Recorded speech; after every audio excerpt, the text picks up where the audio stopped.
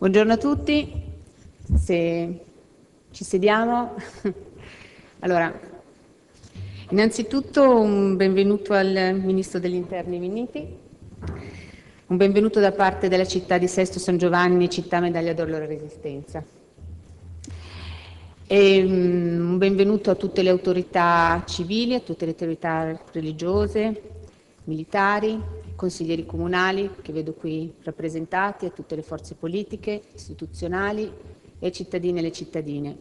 E voglio ringraziare il Ministro Minniti per aver accettato l'invito di un sindaco, aver accettato l'invito di un sindaco che insieme ad altri sindaci del Nord Milano che sono qui rappresentati, ai quali poi darò anche a loro la parola, ha ritenuto importante invitarlo anche alla luce e soprattutto alla luce dei decreti che sono stati approvati nelle scorse settimane e la cui valenza ricade in modo importante anche sulla gestione dei, dei territori. E, mh, sono importanti perché? Perché parlano di sicurezza e la legano molto alle, alle città. E, il tema della sicurezza è un tema che i primi cittadini, insieme ai propri cittadini, vivono con grande attenzione. In modo strano, perché? perché quando ci ritroviamo nei vari tavoli istituzionali ci viene detto che non c'è nei nostri territori un problema reale legato alla sicurezza, dati alla mano. Però poi quando ci troviamo in giro per strada a parlare con i nostri cittadini o quando i nostri cittadini entrano nei nostri uffici, eh, il problema esiste, è più legato alla percezione. Ma come giustamente è stato più volte evidenziato in tante interviste da parte dei nostri rappresentanti politici, anche la percezione dell'insicurezza a questo punto deve essere governata. E leggendo il, il decreto ho personalmente apprezzato molto quanto ci sia come strumenti anche di, di governo della situazione molto legato a quello che è il tema anche della percezione della sicurezza, oltre alla sicurezza.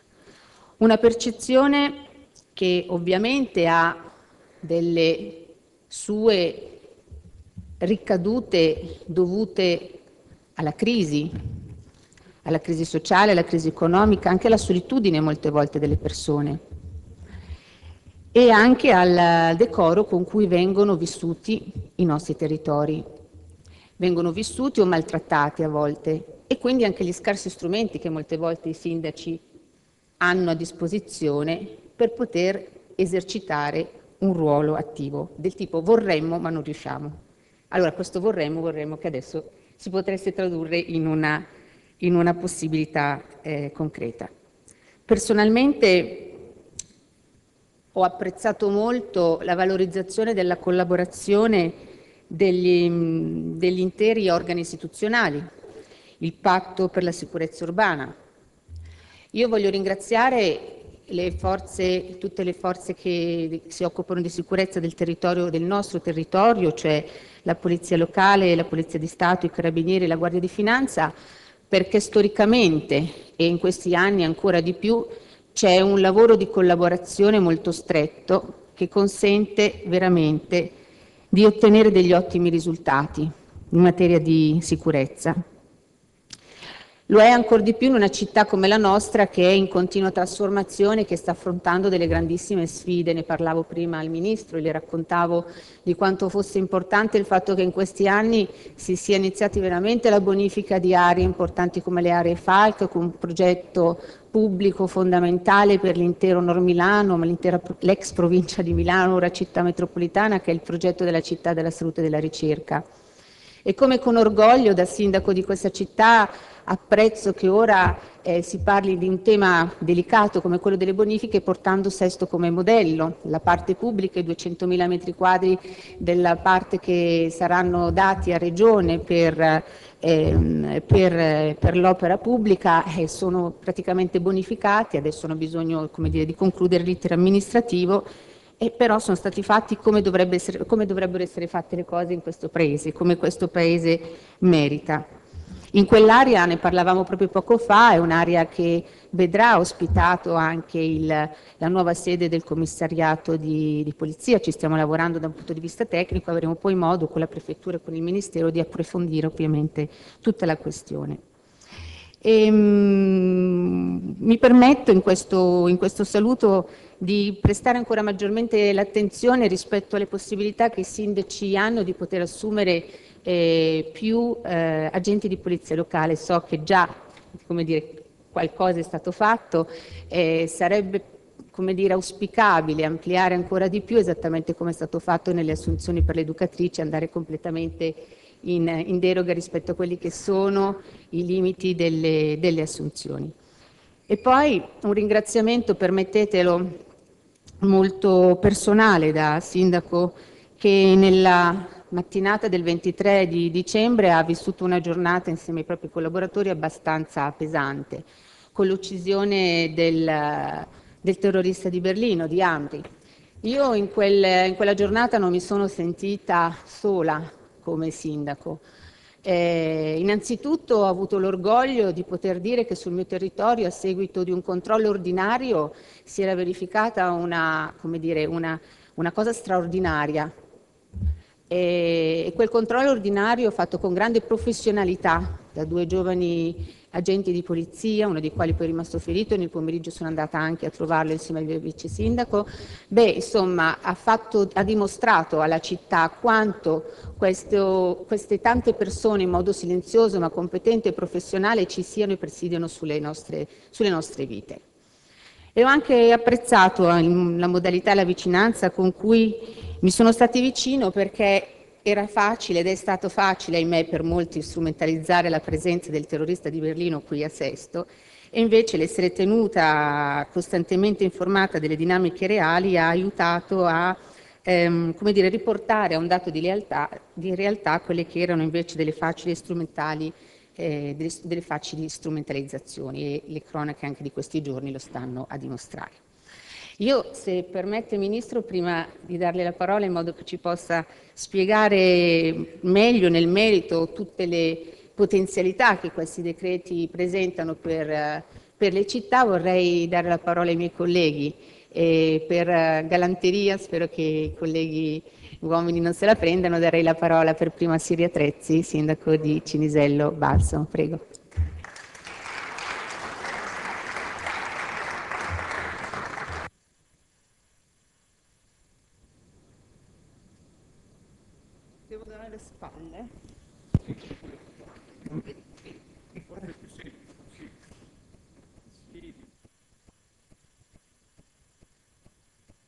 Perfetto, funziona anche il microfono. Prego.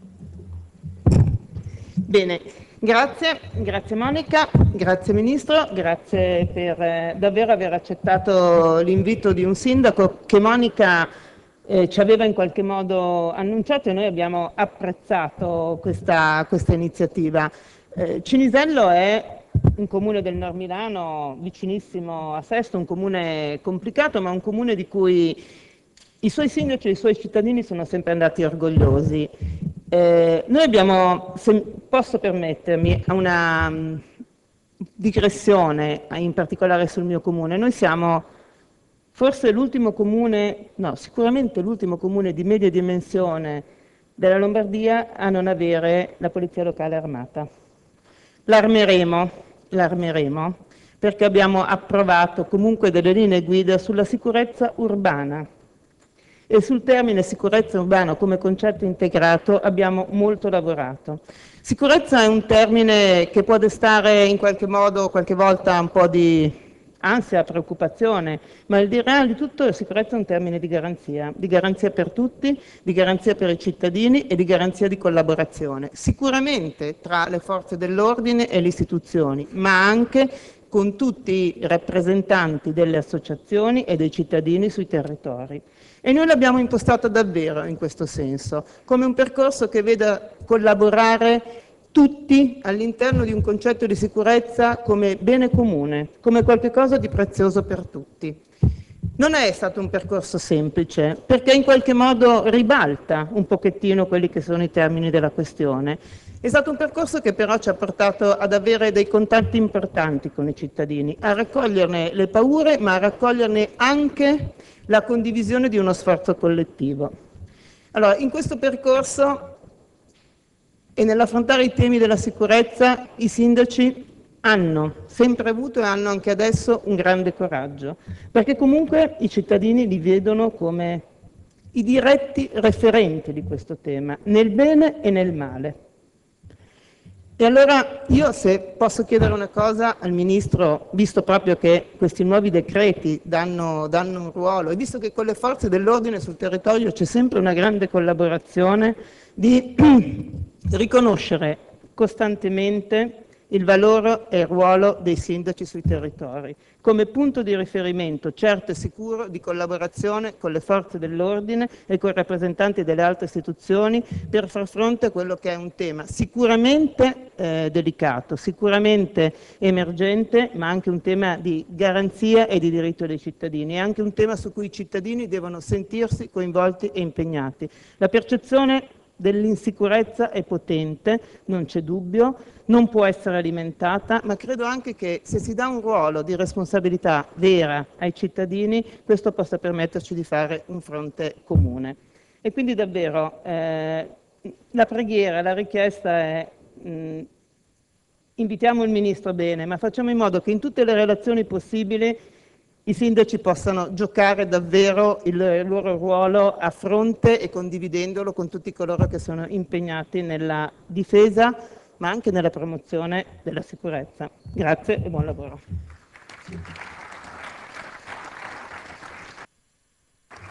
Ugo Vecchiarelli, sindaco di Bresso.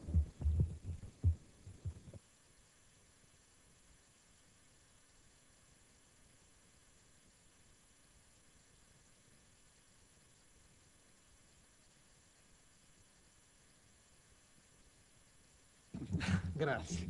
Buongiorno a tutti, buongiorno Ministro, ringrazio Monica per questa occasione, anche per l'opportunità di poter avere in una zona come la nostra, il Nord Milano, che come sicuramente il Ministro saprà è una delle zone più congestionate della Lombardia, più densamente abitate della Lombardia, rappresenterebbe di per sé una media città italiana, che ha molti problemi di viabilità, di, di trasporti, bene ha detto sia Monica che Siria rispetto alla sicurezza, alla percezione della sicurezza, alla percezione dell'insicurezza.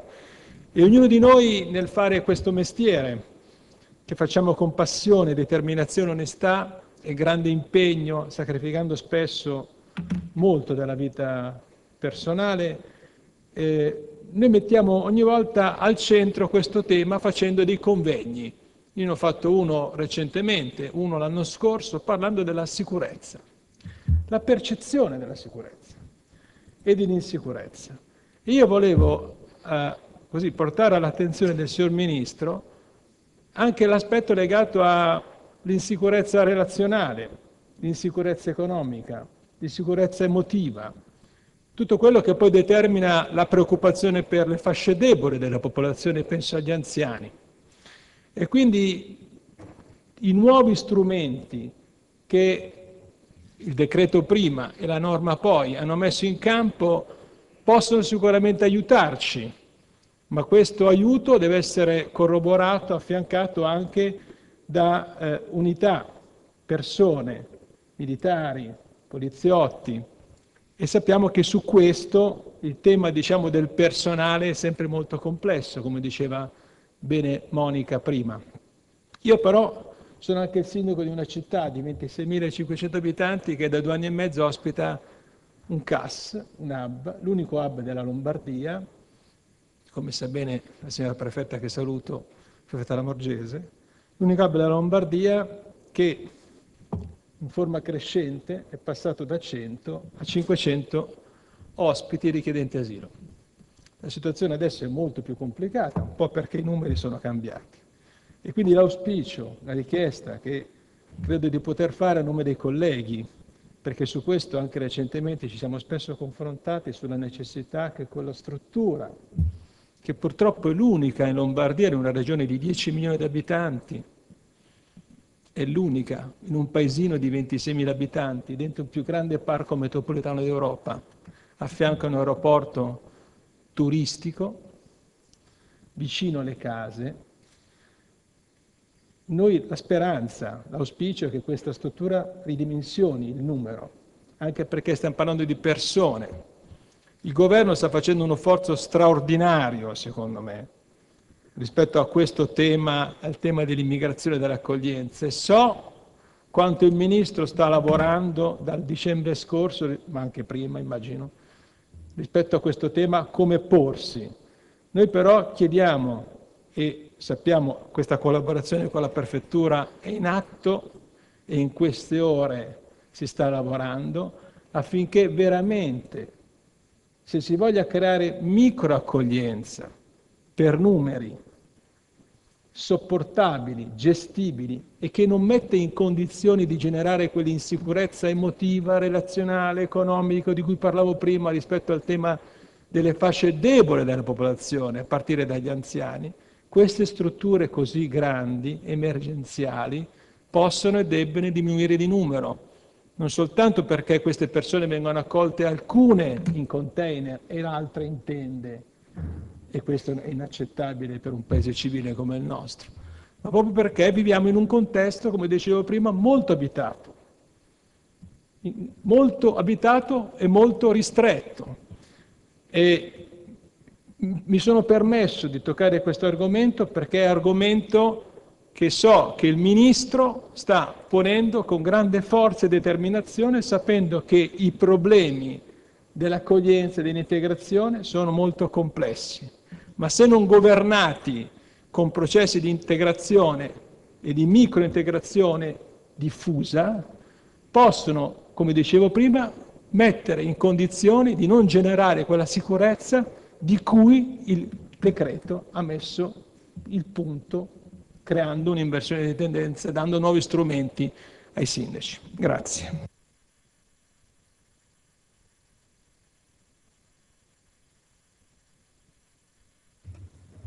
Marco Alparone, sindaco di Paderno Dugnano.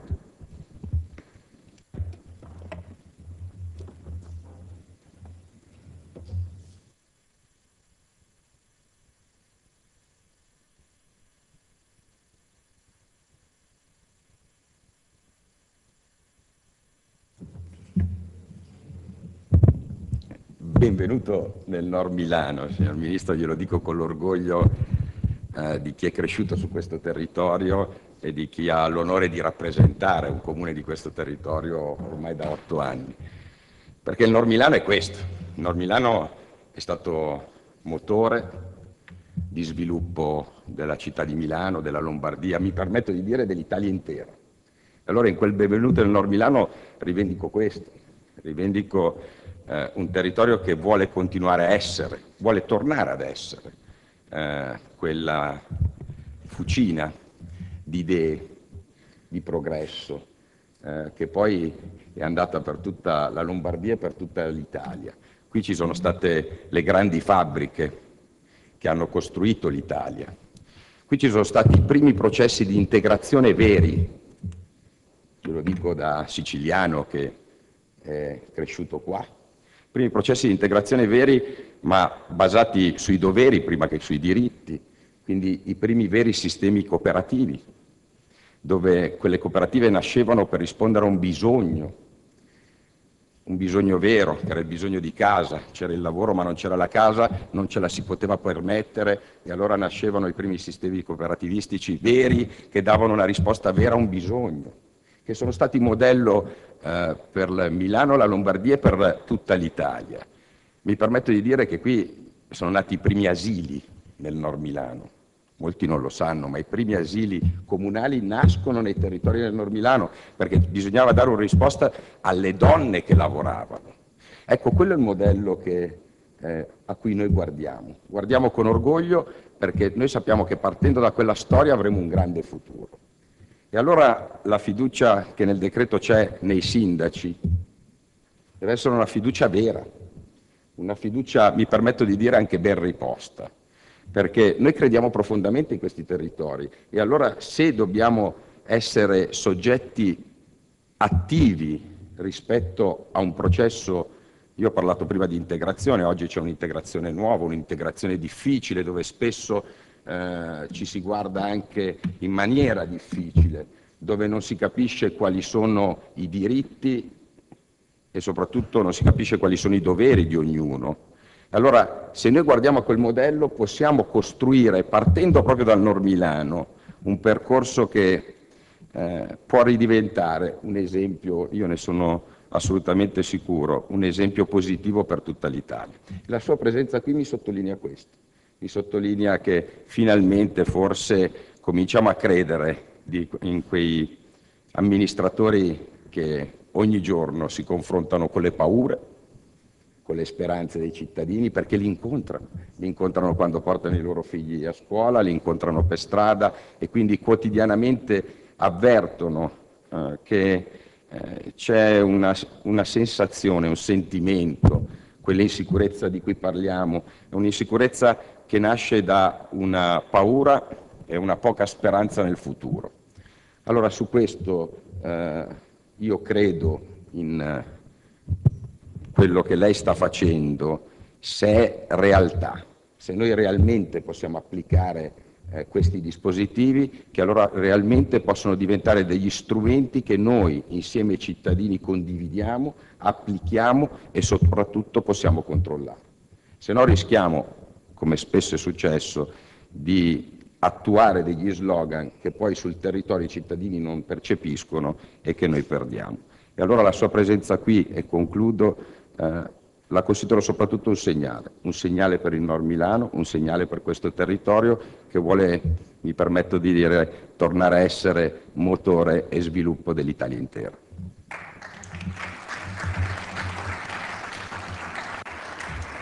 Lorenzo Gaiani, sindaco di Cusano Milanino.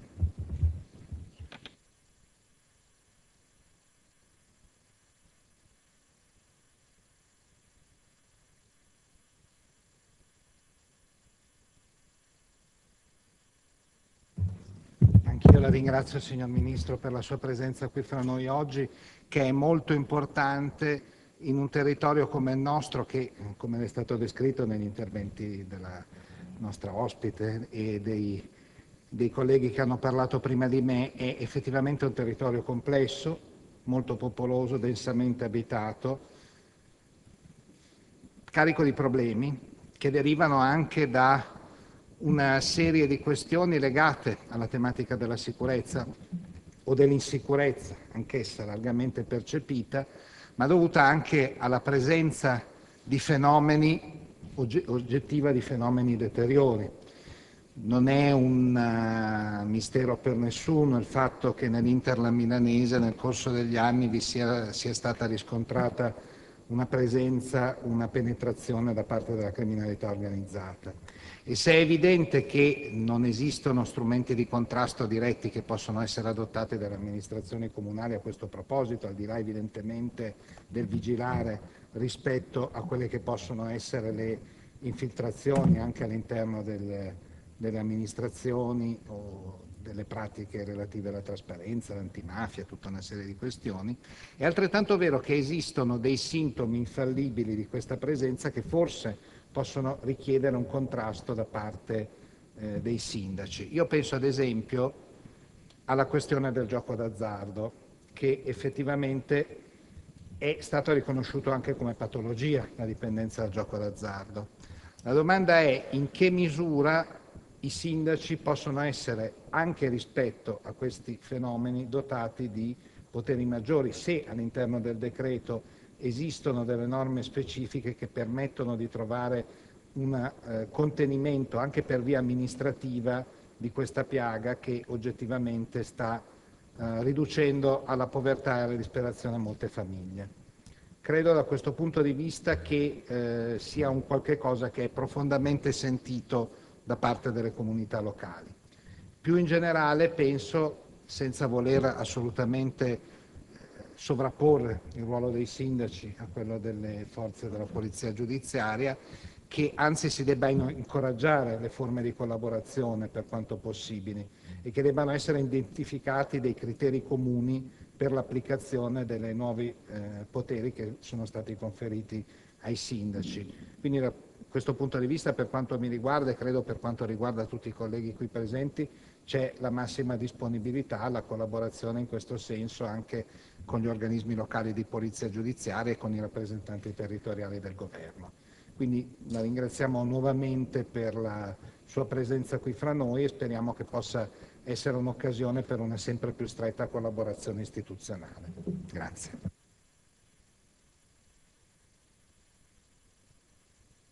Allora, gli spunti credo siano stati tanti nel poco tempo, però il sindaco è anche abile, a, capace a sintetizzare per temi eh, quali sono le priorità. Quindi spunti tanti, qualche risposta e grazie ancora per essere qui con noi oggi. Prego. Uh, voi mi scuserete se parlerò seduto, ma è più semplice perché altrimenti il rischio è che parlando in piedi il microfono non arriva a far sentire la voce. E, innanzitutto grazie, grazie Monica, grazie Sindaco per l'invito che hai voluto farmi, grazie ai sindaci del nord Milano per la presenza qui, a me fa molto piacere, eh, grazie anche a qualche vecchio amico che ho avuto modo di incontrare, di salutare, insomma, sono stati dal punto di vista emotivo momenti per me molto importanti. Eh, quando Monica mi ha invitato, per me è stato facile rispondere di sì, per due ragioni, se posso dirlo. Eh, primo perché Sesto San Giovanni, il nord Milano, come qui è stato ricordato, eh, rappresentato e rappresenta tuttora un pezzo importante della storia del nostro Paese, della storia democratica, della storia economico-sociale del nostro Paese. Noi non dobbiamo mai dimenticare tutto ciò, insomma, perché questo è molto importante. Un paese che non ha conoscenza del suo passato è un paese più debole e più fragile.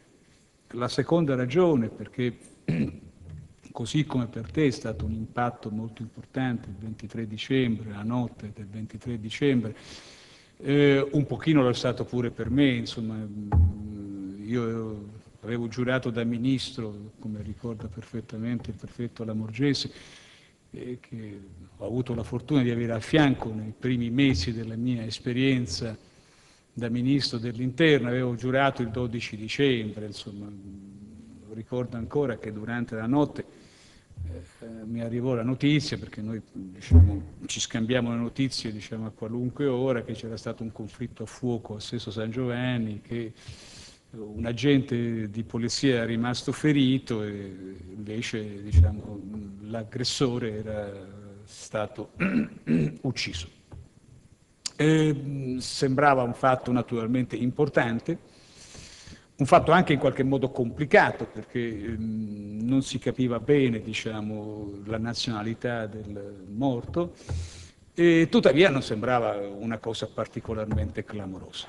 E poi dimostrazione della straordinaria efficienza delle nostre forze di polizia, di cui io sono permanentemente grato. Io penso che un pochino tutti dobbiamo essere grati allo sforzo che fanno le nostre forze di polizia quotidianamente sul territorio. Si è incominciato a fare l'esame del DNA, insomma si è incominciato a comprendere che quella persona morta era uh, Ainis Amri, quello che aveva compiuto da pochi giorni l'attacco al mercatino di Berlino. Una presenza qui, diciamo, del tutto casuale, tuttavia eh, l'azione di quella volante, eh, io sono molto orgoglioso del fatto che eh, il 10 aprile scorso alla festa della polizia noi abbiamo premiato l'equipaggio di quella volante, tra l'altro quando io ho avuto modo di incontrarli, diciamo, sembravano, io, io ho detto voi rappresentate l'unità d'Italia, eh, perché uno dei due era del profondo nord e un altro era del profondo sud, eh, uno molto alto, un altro diciamo non molto alto. E quindi era eh, veramente l'idea di un eh, modo di unire il paese, eh, la volante dell'unità d'Italia. E tuttavia eh, la cosa più straordinaria è appunto che eh, quell'azione non è stata appunto un'azione delle forze speciali. Eh, non è che a un certo punto noi abbiamo chiamato le forze speciali e sono intervenute per eh, mettere in sicurezza un pericoloso terrorista, invece è stata l'espressione del normale e ordinario controllo del territorio. Il che testimonia eh, da un lato che noi abbiamo un sistema di sicurezza che funziona, dall'altro testimonia anche che abbiamo a che fare con eh, dei poliziotti, dei carabinieri, dei finanziari, in quel caso diciamo come si dice tecnicamente, la punta di lancia era la Polizia di Stato, ma in altri casi sono stati i Carabinieri, in altri ancora la Guardia di Finanza, e abbiamo a che fare con del personale che è profondamente motivato, eh, perché quella notte, se non ricordo male, ma tu Sindaco mi puoi correggere da questo punto di vista, era una notte molto fredda. Eh, era notte piena, eh, insomma naturalmente passava uno per strada, eh, aveva uno zainetto addosso, tra virgolette si poteva anche stare in macchina. Eh, perché appunto il controllo del territorio si fa in macchina. Eh, questi due ragazzi decidono invece di non, ferm- di non, stare in macchina, di scegliere, di chiedere diciamo, i documenti. E, e, lì succede un fatto abbastanza importante, cioè nel senso che questo Amri mette la mano nel zainetto, tira fuori la pistola e spara. Uh, uno dei due agenti viene ferito e l'altro, che è un agente in prova, cioè, la cosa straordinaria è questa, che è un agente in prova eh, si muove tecnicamente in maniera perfetta, eh, si allarga come si deve fare in questi casi per non mettersi sempre sulla stessa linea di tiro e diciamo, reagisce. E quando li ho incontrati, diciamo, la cosa più simpatica è stata questa, e che a un certo punto loro mi hanno detto che la, quando loro si sono avvicinati, hanno detto ma da dove viene, che fa? Lui gli ha risposto sono calabrese. E, diciamo, allora a un certo punto eh, si è capito il meccanismo, io gli ho detto, ah, ora ho capito perché avete reagito immediatamente, perché eh, nel giro di eh, poco più di dieci giorni avere prima la notizia che il ministro dell'interno era calabrese e poi uno che si presenta a Sesto San Giovanni e dice di essere calabrese c'è qualcosa che non funziona, eccesso di calabresità e a quel punto hanno, tra virgolette, diciamo, pensato di doversi proteggere. Questo, in questo momento lo può dire soltanto uno che è veramente calabrese, diciamo, fino all'ultima goccia del sangue, senza essere, diciamo, per questo peccare di razzismo.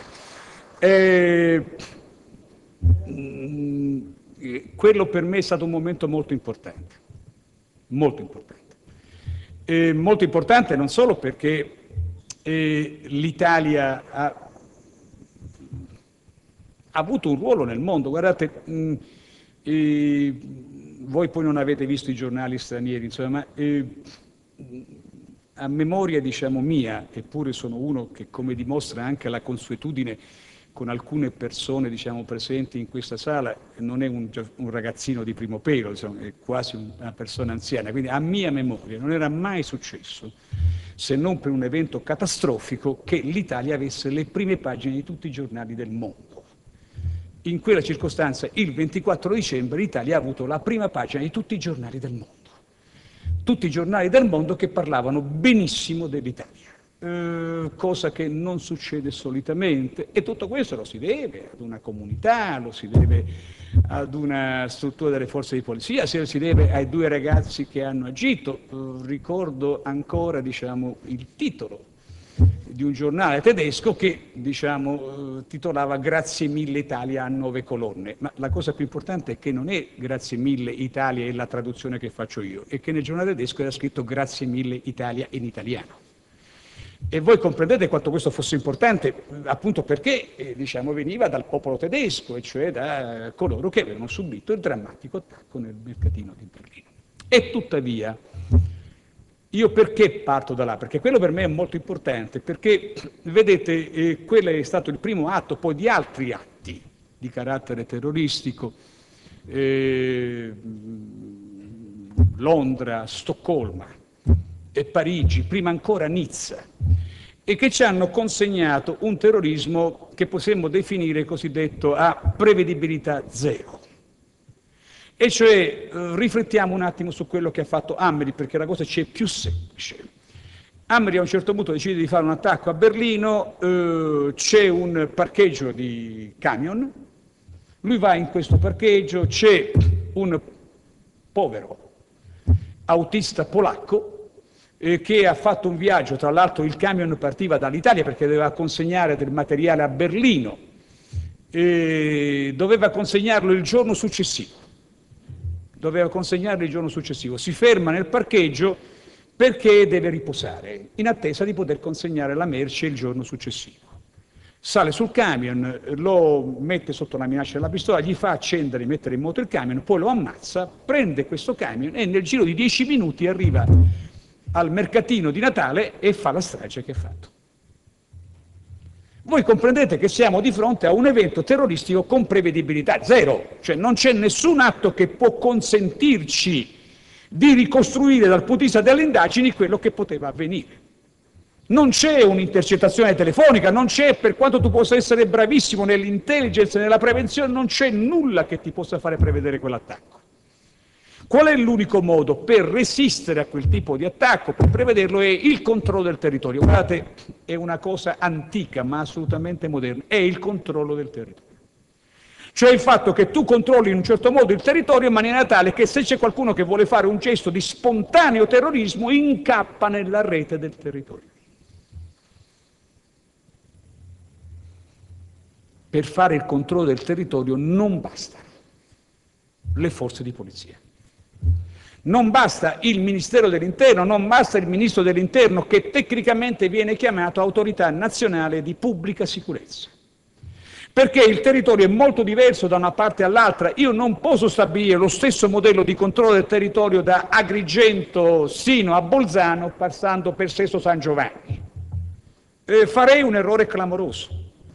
Se io voglio costruire un moderno controllo del territorio che sia all'altezza di essere capace di registrare i movimenti sul territorio, devo farlo attraverso un'alleanza strategica con i sindaci un'alleanza strategica con i sindaci, cioè vorrei trasmettervi un messaggio. Tutto quello che si è fatto non è un fatto casuale. Il problema è che a mio avviso noi stiamo rileggendo un modello di sicurezza del nostro Paese che naturalmente ha molti aspetti positivi e che ha alcuni aspetti che deve ulteriormente migliorare. Per poter rileggere questo modello di sicurezza noi abbiamo scelto una strada. E cioè la strada è quella di costruire un rapporto permanente con i sindaci sul territorio.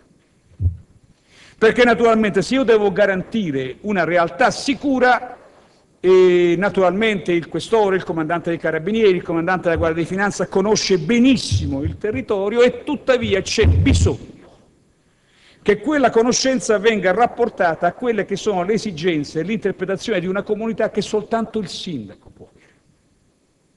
Che soltanto il sindaco può avere. Questo è il dato strategico ed è un dato a mio avviso irreversibile. Perché una moderna idea della sicurezza non può non nascere da un rapporto tra lo Stato nazionale e il territorio. Per rendere ancora più evidente questo, cercherò di fare un esempio proprio banalissimo. E per garantire la sicurezza di una piazza o di una comunità è molto importante che naturalmente quella piazza sia presidiata dalle forze di polizia e cioè che magari in quella piazza ci sia una macchina delle forze di polizia, naturalmente è importante, ma basta soltanto una macchina per garantire della polizia, per garantire la sicurezza di una piazza? No. Quella piazza per essere sicura ha bisogno che ci sia l'illuminazione giusta, che ci siano politiche di integrazione, che ci siano politiche di arredo urbano, che ci siano politiche in cui quella piazza viene collocata dentro un progetto più generale di città. Tutto questo non lo può fare il Ministero dell'Interno. Non lo può fare da solo, lo può fare soltanto insieme con chi dirige quella comunità, con chi ha la rappresentanza, tra l'altro democratica, di quella comunità. Allora voi comprendete che noi siamo ad un passaggio eh, cruciale.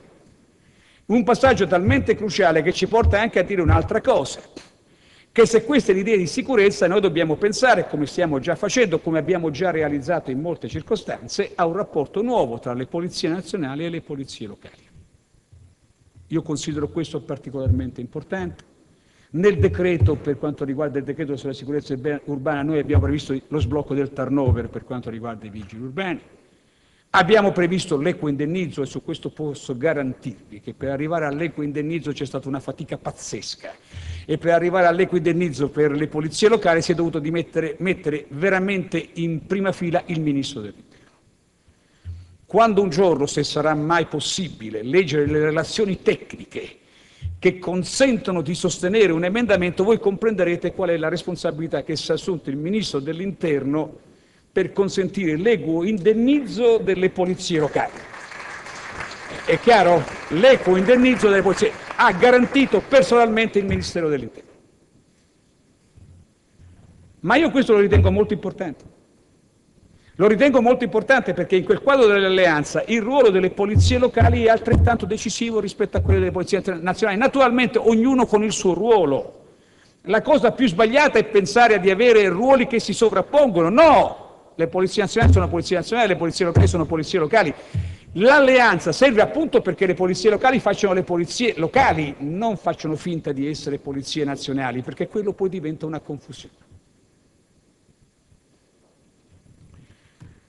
Secondo aspetto.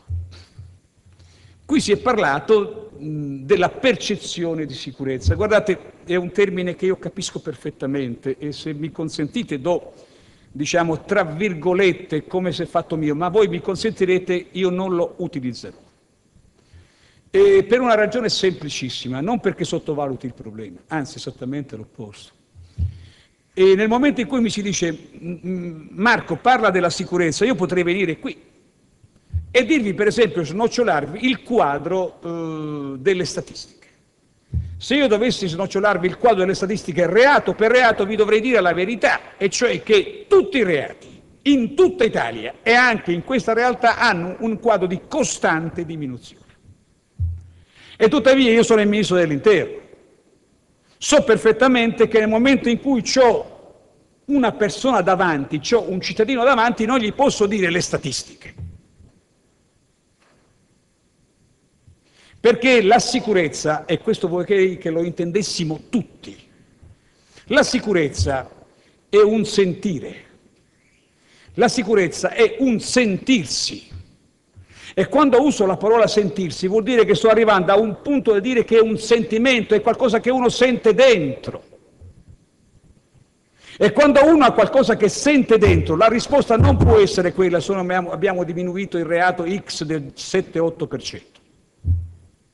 Questo serve a me, questo serve alle forze di polizia per capire che una politica è giusta, perché nel momento in cui diminuiscono i reati io ho la prova che una politica di aggressione a quel determinato tipo di reato è una politica giusta, ma non serve a trasmettere un messaggio di sicurezza. E quindi noi dobbiamo affrontare questo tema, sapendo e la dico così anche qui molto chiaramente, che quando noi parliamo della paura non dobbiamo avere supponenze. Il sentimento di paura non è un sentimento da biasimare, è un sentimento da superare, ma non da biasimare. Perché se qualcuno si mette nell'idea che ogni volta dice, eh, ma insomma, la, eh, eh, trasmettiamo un senso di separazione e di rottura. Il compito dello Stato, delle istituzioni, e quando io penso allo Stato e alle istituzioni non penso soltanto al Ministero dell'Interno, penso ai poteri locali perché li considero un elemento fondamentale del mio progetto e della mia idea delle istituzioni, come altro prevista in maniera molto chiara dalla Costituzione italiana, non abbiamo nulla da inventare da questo punto di vista. Noi dobbiamo trasmettere un messaggio. Dobbiamo dire due cose con molta chiarezza, che una democrazia impaurita è una democrazia più debole e quindi lavorare per togliere e superare le paure è un modo per rafforzare la democrazia. È chiaro qual è il senso del mio impegno? E vorrei che su questo ci intendessimo, perché è del tutto evidente che Insomma, mh, noi dobbiamo stare attenti a non sottovalutare nulla. E quindi eh, una moderna idea della sicurezza. Deve tenere insieme quelle cose di cui parlavo prima. Per cui, per esempio, qui si è parlato dell'area Falk, dell'area più importante ex industriale bonificata. Voi mi direte, ma che c'entra la bonifica di un'area con le politiche di sicurezza? E invece è un pezzo fondamentale delle politiche di sicurezza. E vedete, noi a un certo punto, quando parlavamo dei quartieri, diciamo, eh, più difficili, usavamo un termine, quello è il Bronx di Sesto San Giovanni, adesso non so se c'è un Bronx, diciamo, ecco, ma non, diciamo, è il Bronx del, della città X, per dire che era il quartiere più difficile. E a un certo punto questa espressione non si può più utilizzare, perché il Bronx non è più un quartiere difficile. E non è più un quartiere difficile, non soltanto perché c'è più presenza delle forze di polizia, non è quello stato risolutivo, anche quello è servito, ma non è stato risolutivo quello. È stato il fatto che si è pensato ad un intreccio tra politiche di sicurezza, politiche urbanistiche, politiche di inclusione sociale. Allora voi comprendete che se questa è l'idea di sicurezza, noi dobbiamo trasmettere un messaggio che bisogna saper suonare contemporaneamente più tasti su una tastiera molto complessa. E se uno so, ne suona soltanto uno solo, la tastiera non produce melodia. Se uno ne suona uno solo, se uno suona soltanto il tasto dell'ordine pubblico, non produce melodia. Se uno produce soltanto il tasto dell'inclusione sociale, non produce melodia. Perché il problema della sicurezza non si risolve soltanto dicendo ma il problema è l'inclusione sociale, a un certo punto arriveremo al punto. Così come non si risolve dicendo è un problema soltanto di ordine pubblico, a un certo punto arriveremo al punto. La forza sta nel pensare insieme queste cose, ma posso dirvi una cosa, la forza sta nel praticarle insieme queste cose. E allora qual è il punto? Nel decreto per la sicurezza urbana si incomincia a intravedere, si intravede messo per legge. Qual è il ruolo tecnicamente importante? Guardate, per quanto riguarda per esempio le aree metropolitane, si stabilisce che il Comitato per l'ordine e la sicurezza pubblica delle aree metropolitane è insieme coordinato dal prefetto e dal sindaco dell'area metropolitana. È un elemento molto importante. Voi comprendete cosa significa tutto ciò? Significa dare ai sindaci un ruolo molto importante. Significa cioè pensare avere una, idea, una moderna idea dello Stato. E poi si prevedono dei poteri per i sindaci per quanto riguarda l'assetto del territorio. Ora qualcuno ha detto sì, forse il decreto è troppo severo, qualcuno ha usato dei termini addirittura più forti, poco liberale. Guardiamolo un pochino meglio. Se a un certo punto c'è un sindaco che attraverso l'attività del Consiglio Comunale, della Giunta, ha messo a posto per esempio una parete di una palazzina e dopo qualche ora o qualche giorno qualcuno va là e fa scritte su quella parete appena fatta, il decreto stabilisce, per esempio, che il sindaco, d'intesa con il questore, ma è il questore che poi fa l'ordinanza, può dire a quello che ha fatto le scritte che deve rimettere a posto quella parete. Fare questo è un atto illiberale? Io penso di no. Lo considero un elemento di principio di civiltà che sta in un principio elementare, che la libertà di ciascuno di noi ha un limite nella libertà dell'altro. Sono principi fondativi di ogni democrazia. Se poi c'è uno spacciatore che sta sempre vicino ad una scuola o vicino ad una discoteca che magari è stato già in galera perché spacciava, e tuttavia è diventato particolarmente abile perché non si fa pescare in flagranza di reato, perché se si fa pescare in flagranza di reato lo arrestiamo. E a quel punto il sindaco dice al questore fai un'ordinanza in maniera tale che quella persona per un anno non possa stare più vicina a quella scuola. È un atto illiberale o una protezione per i nostri figli? Punto interrogativo. Io penso che sia la seconda cosa. Allora voi avete compreso qual è il meccanismo. In questa alleanza poi noi dobbiamo costruire naturalmente un rapporto di dare e avere. C'è un impegno delle forze di polizia, sono molto contento che tutti i sindaci che qui sono intervenuti hanno detto che i rapporti sono straordinariamente positivi, questo è molto importante. Io ringrazio molto sia voi che le forze di polizia, il prefetto di Milano, tutti quanti per il lavoro che state facendo. A me è molto importante lo spirito di collaborazione. Ed è in questo spirito di collaborazione che nel momento in cui dico facciamo un'alleanza ragioniamo anche sul nuovo commissariato, perché no? Tutto quello che serve ad ammodernare, a rafforzare, a strutturare, che dia il senso di una cooperazione tra i vari poteri, per me è un elemento importante che rafforza. Infine, e vado rapidamente alla conclusione, voglio anche affrontare il tema, è posto qui, dell'immigrazione, dell'accoglienza. Io innanzitutto ringrazio, ringrazio i sindaci che si fanno carico dell'accoglienza, perché so perfettamente che in questi anni il nostro Paese, l'Italia, si è fatto carico di uno straordinario eh, progetto di accoglienza e questo non si sarebbe potuto mai realizzare se non ci fosse stato un rapporto molto forte con il territorio, con i sindaci che si sono fatti carico. E tuttavia anche su questo siamo intervenuti. Guardate, non è casuale che nello stesso Consiglio dei Ministri noi abbiamo fatto due decreti legge. Primo, non è usuale che in un Consiglio dei Ministri si facciano due decreti legge. Non è nemmeno altrettanto usuale che in un Consiglio dei Ministri si facciano due decreti legge uno sulla sicurezza urbana e uno sull'immigrazione, cioè su due temi molto importanti.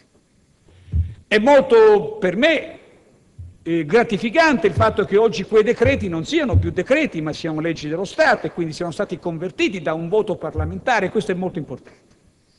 E tuttavia qual era il senso del fatto di discutere e votare due decreti nello stesso Consiglio dei Ministri? Era quello di trasmettere un messaggio ai sindaci voi siete un caposaldo del nostro Paese sia sul terreno dell'accoglienza sia sul terreno della sicurezza.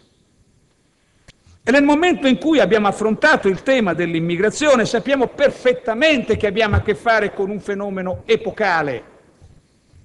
Io personalmente consiglierei una certa diffidenza verso coloro che dicono che il problema si possa risolvere in 448.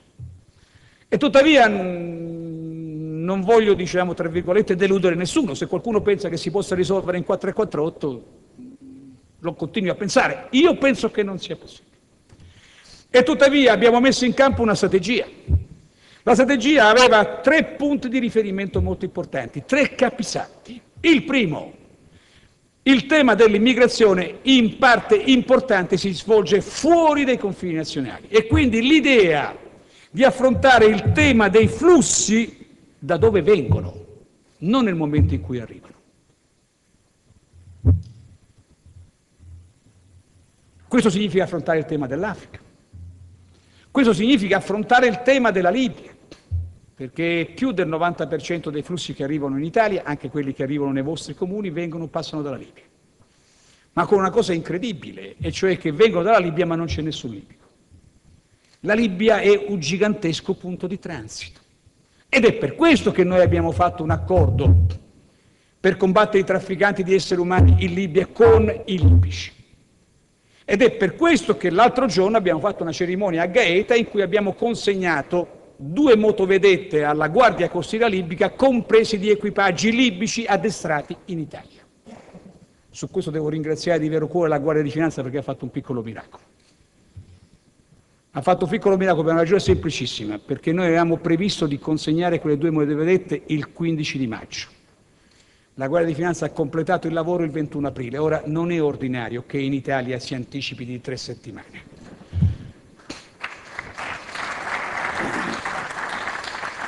E, e lo dico davvero.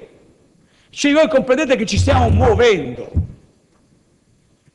Ad un certo punto il prefetto Lamorgese si ricorderà perché una parte era già venuta quando c'era lei, una parte è venuta dopo. A un certo punto al Ministero dell'Interno sono arrivate delle persone, diciamo, eh, vestite in maniera strana. E quando sono arrivati vestiti in maniera strana, eh, sono arrivati come dice, ma che sta succedendo? E il problema è che quelle persone che erano arrivate erano i rappresentanti delle tre tribù del Sahara, eh, i Tebù, i Tuareg e i Soleiman. Erano venuti perché loro vestono sempre così, nei loro costumi. Tra l'altro, devo essere sincero, mozzafiato, bellissimi. E si distinguevano per il colore, perché alcune erano bianche, le tuniche altre erano eh, azzurre, altre erano violetto, tutti quanti con il turbante. Sapete qual è la cosa più straordinaria? Queste tribù sono state in guerra tra di loro per moltissimi anni. Hanno avuto molti giovani che sono morti nelle guerre tra di loro. Bene, a un certo punto loro hanno firmato la pace e hanno voluto che quella pace fosse firmata in Italia, al Ministero dell'Interno italiano. Voi comprendete che questo non è usuale. Cioè vuol dire che c'è un affidamento nel rapporto con il nostro paese e noi sappiamo perfettamente che se si vuole pensare alla sicurezza del confine sud della Libia, cioè del Sahara, le tre tribù del Sahara sono indispensabili per la sicurezza di quei confini. È chiaro cosa vuol dire questo? Vuol dire che noi dalla mattina alla sera pensiamo a come affrontare questi problemi. Nessuno pensi che stiamo sottovalutando.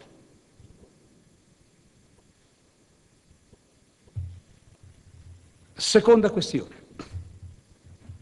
Se vogliamo pensare all'accoglienza, un paese deve sapere una cosa semplicissima, e cioè che l'accoglienza ha un limite nelle politiche di integrazione. Cosa voglio dire? Devo essere ancora più chiaro su questo punto di vista, appunto perché abbiamo parlato di Ainis Ampli e siamo a Sesto San Giovanni e siamo nel nord Milano. E cioè che io per esempio considero sbagliata l'equazione immigrazione-terrorismo. È sbagliata, è fuorviante, è tecnicamente non comprendente il problema. Se tuttavia guardo da Charlie Hebdo in poi, fino ad, Ais, ad Amri ed oltre Ainis Amri, appare del tutto evidente che invece c'è un rapporto tra terrorismo e mancata integrazione. Quindi il punto che io mi pongo e che dobbiamo porci da italiani è che c'è un punto fondamentale, cioè l'accoglienza non deve mai venir meno ma deve essere governata in maniera tale che l'accoglienza contenta l'integrazione, perché se siamo permanentemente sotto emergenza è difficile pensare a politiche di integrazione. Questo è il meccanismo. Ed è per questo che noi abbiamo affrontato il tema sotto due aspetti, anzi sotto tre aspetti. Il primo, abbiamo firmato un patto con l'Islam italiano e io vedo qua, sono molto contento che qui, diciamo, intorno a questa sala ci siano gli articoli della Costituzione della nostra Repubblica, quelli fondamentali. Sapete qual è la cosa più bella?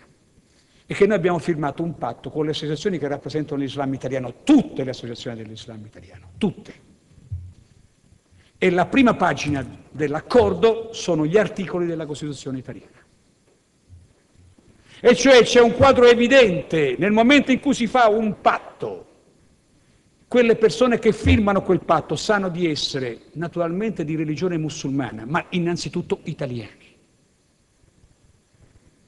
Questo è un elemento fondamentale, lo dice il Ministro dell'Interno, anche per le politiche di sicurezza. Se poi in quel patto c'è anche scritto che le moschee sono un luogo aperto al pubblico e quindi possono essere frequentate da musulmani e da non musulmani. Se c'è scritto che i sermoni si fanno in italiano, se c'è scritto che in ogni moschea deve essere riconosciuto il nome dell'imam che pratica in quell'assemblea, in quella moschea, se poi c'è scritto che ogni finanziamento per la costruzione di un nuovo luogo, luogo, di culto deve essere pubblico, sia esso un finanziamento interno o un finanziamento internazionale. Voi comprendete che sono dieci anni che stiamo parlando di queste cose. E poi c'è qualcuno che ha cominciato a farle, punto. Dieci anni. io ero più giovane, ma voi sapete che mi sono sempre occupato di queste cose. Ma la cosa più importante è che non sono imposte per legge. Perché quando si parla di una religione bisogna essere prudenti con l'imposizione per legge dello Stato. Perché si rischia di ottenere quello che Kant chiamava l'eterogenesi dei fini. E cioè io faccio una cosa per costringere qualcuno a fare quello che dice come io devo fare e poi ottengo il risultato opposto. Nelle religioni è sempre molto delicato. È sempre molto delicato. E invece è molto importante il fatto che sia stato un punto di accordo. Ma sapete qual è la cosa più bella? È che quando a un certo punto è venuto fuori che qualche genitore, che qualche genitore utilizzava strumenti di coercizione sui propri figli in nome dell'Islam, che è una cosa inaccettabile, anzi aggiungo io inconcepibile nella democrazia italiana. Non è stato soltanto il magistrato che ha tolto la eh, patria potestà a quella famiglia, ma sono state quelle associazioni che hanno detto che quei comportamenti sono inconcepibili. Questo è un modo per costruire sicurezza per il futuro del nostro Paese. Il secondo aspetto è l'accoglienza diffusa. Noi abbiamo fermato un patto con l'Associazione Nazionale dei Comuni Italiani per dire 2,6, se non ricordo male, ogni mille abitanti. E, insomma, è un po' diciamo, sgradevole dire 2,6 per come se potessimo diciamo, tagliare le persone, ma non le tagliamo, eh? cioè, nel senso non vorrei che qualcuno pensasse che siamo talmente cattivi che a un certo punto... Ecco, è 2,6 per ogni mille abitanti. Noi stiamo lavorando, perché l'obiettivo che io mi do, lo dico qui, è quello di superare i grandi centri di accoglienza. Perché i grandi centri di accoglienza sono poco inclini all'integrazione, e non mi servono se non quando ho un'emergenza, ma l'obiettivo che io ho è cercare di affrontare il tema senza avere un'emergenza. Io naturalmente vi chiedo di avere un percorso di transizione, e però quello è l'obiettivo e naturalmente noi stiamo lavorando per convincere tutti i comuni ad accettare quel patto, perché se tutti accolgono il problema si risolve. Se invece accolgono meno della metà dei comuni previsti è più difficile e più complicato. È chiaro qual è il meccanismo. Io sono per una distribuzione limpida e chiara del principio di responsabilità. Noi stiamo lavorando in Lombardia, in provincia di Milano, per fare un patto su questi temi. Ci sta lavorando moltissimo il prefetto Lamorgese ed è chiaro che noi auspichiamo che a un certo punto questo patto possa essere da tutti condiviso. Se dovessimo farlo sarebbe un segnale molto importante, perché sarebbe un segnale molto importante per l'intero Paese. Ed è per questo che penso anche a nome dei sindaci di esprimere qui pubblicamente un incoraggiamento al prefetto Lamorgese perché vada avanti su quella strada e non si senta sola in questo progetto. Il terzo aspetto, il terzo aspetto altrettanto fondamentale, e avere un progetto di accoglienza che tenga conto insieme, questo è crucialmente e democraticamente importante, che tenga insieme il diritto di chi viene accolto con il diritto di chi accoglie. Una democrazia sta in questo equilibrio il diritto di chi deve essere accolto e il diritto di chi accoglie. Stiamoci attenti a non sbilanciare mai questi due temi. Perché se qualcuno ha la sensazione che noi privilegiamo o il diritto di chi accoglie o il diritto di chi è accolto a danno di chi accoglie, noi creiamo soltanto tensione sociale. E per far questo noi abbiamo affrontato il tema di avere rapidità nella definizione delle protezioni umanitarie.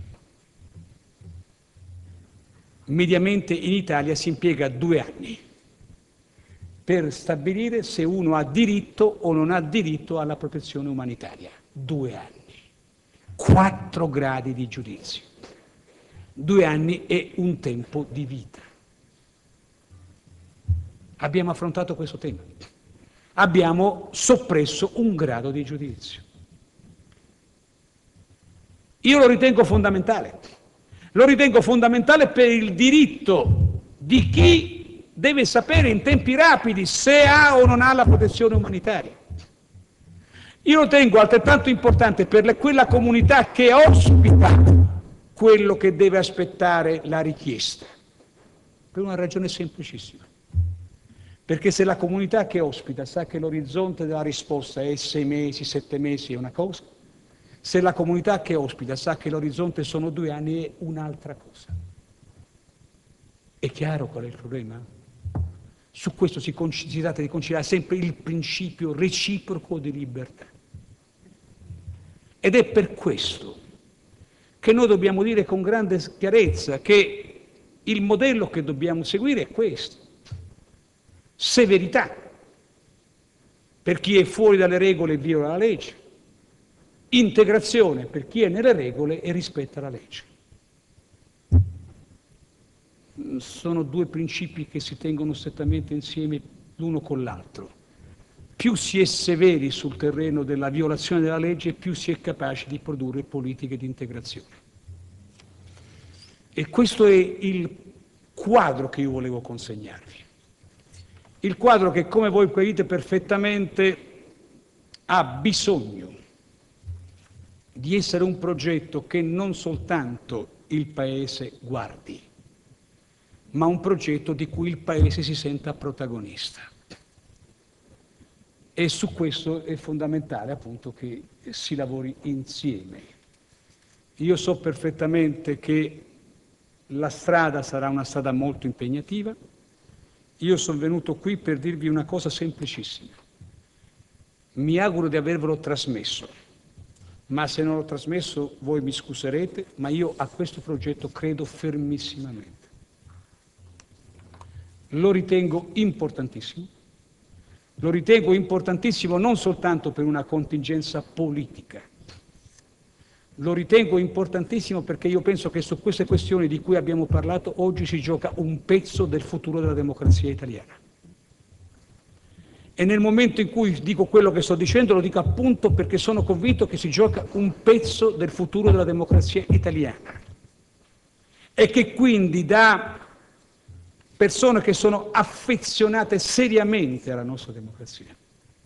Io penso che dobbiamo lavorare insieme, dobbiamo lavorare insieme anche al di là delle culture e delle storie politiche, avendo in testa un unico obiettivo, che è quello di costruire un paese che insieme sappia accogliere e integrare, che sappia garantire i principi di libertà e i principi di sicurezza. Questa è la moderna frontiera di una democrazia. E su questo si giocheranno i prossimi 15 anni del nostro Paese. Voi vi consentirete quindi, se per queste ragioni che io considero molto importanti, in questi quattro mesi non mi sono soltanto limitato a camminare, ma in qualche, cosa, in qualche momento anche corso. So che il Ministro dell'Interno non dovrebbe correre, perché il Ministro dell'Interno deve avere il passo cadenzato, deve fare passo dopo passo, ma io avvertivo l'esigenza di dover correre. E se pensate di avere bisogno di un Ministro dell'Interno che cammini, me lo dite. Io può darsi pure che eh, mi arriverà la vostra voce. Non sono sincero se dovessi dirvi che vi ascolterò. Grazie, buona serata a tutti.